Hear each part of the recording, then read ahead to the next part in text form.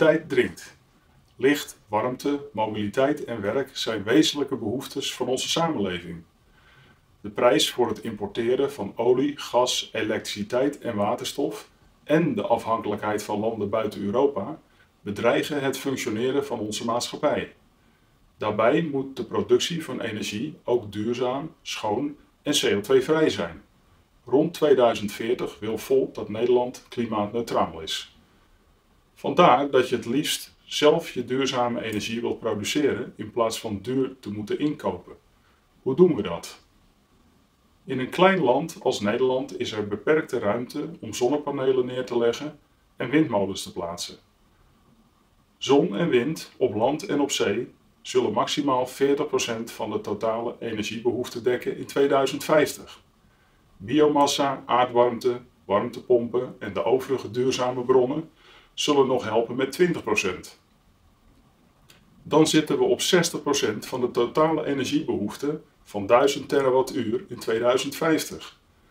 Bij deze cijfers is er geen import van olie en gas inbegrepen, maar wel de productie van waterstof als buffer voor perioden van weinig wind en zon en als energiedrager voor transport en industrie. 60% is uiteraard niet voldoende en we moeten dus nog meer energie opwekken op de beperkte oppervlakte van Nederland. Daarom vragen wij jullie voor kernenergie te stemmen voor de resterende 40% aan noodzakelijke energie. Kernenergie is immers onafhankelijk van het weer, beslaat weinig ruimte en kan vandaag met weinig risico gebouwd worden. Ook voor het afval zijn tegenwoordig prima oplossingen.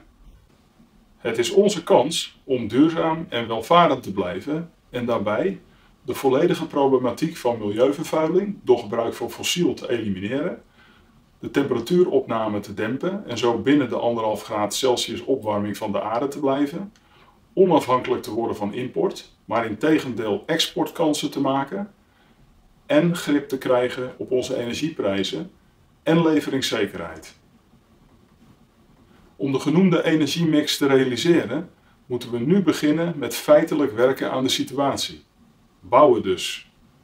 Aan zon-, wind- en kernenergieinstallaties tegelijk. En niet afwachten en nog meer onderzoeken. Wil Volt zo'n aanpak? Bouwen aan de wind-, zon- en kernenergiemix?